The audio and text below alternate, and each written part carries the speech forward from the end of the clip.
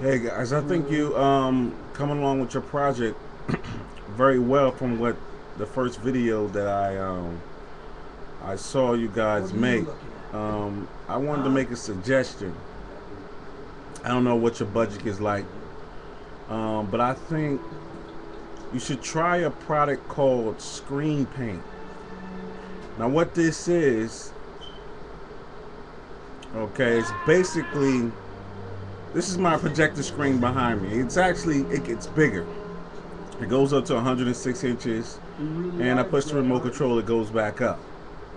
The projector I'm using is the 720 uh, Epson 720p projector, which shows um, in high definition, uh, which I recommend. I don't know what your budget's like, and I've never had a problem with my projector. I mean, it shows in HD. It's it's it's it's budget friendly. I paid about um, thirteen hundred for the projector, and they got another one, a newer one out. I actually wanted the 1080p, but I fell short money wise. But it's been a great projector. I have no complaints whatsoever. Now, screen paint is basically is what's on this my particular screen. It's like three layers of paint.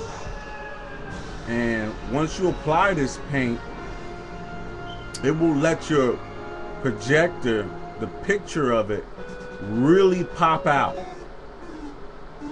And I think that's better than the wallpaper that you're about to use to um, I'm challenging eight teenagers to follow. Put your, um, I'm, I'm not sure if you're using the, the black wallpaper, which is a really bad idea.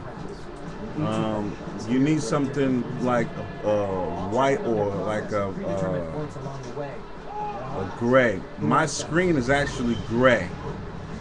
And this screen paint, I think will help you out a lot. I don't know what size screen you're aiming for, but once you use this screen paint that I'm recommending, um, Google it so you can get a, a, sense of the price or whatever. Or um, you can actually log on to my um, edtitus.com, the home theater channel, and I've got a video on there uh, of some uh, that that I actually saw where this guy used screen paint in his house, and he's it's cost friendly and it really makes the picture pop out. I think that will help you out a lot. Um, yeah, that's basically it. I mean, if you get the screen paint or if you decide to buy just the actual screen paint, you can you don't have to get a um, uh, the screen that drops down. You can get a screen that stays on the screen just the way it is you can actually buy that. And um, that's it. I think you're doing a good job with your project, but I, I think if you're going to use a projector instead of a, a flat screen TV, that you might need the screen paint would really help it pop out. I think the wallpaper will be good for the room because it, it, it will cut some of the light out, the reflection of the light. If, if and um, uh, I don't see. I, I, hope that the, the um, wallpaper is not reflective. Like it will reflect light. It will be a bad idea.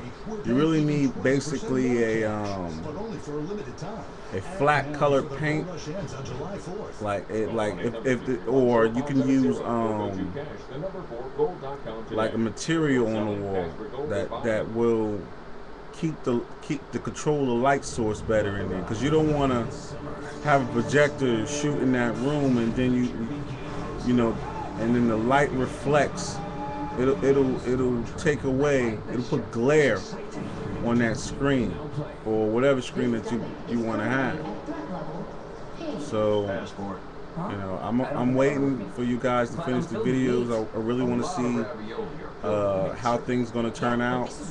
Um, so please keep re recording, uh, keep us posted, and uh, good luck.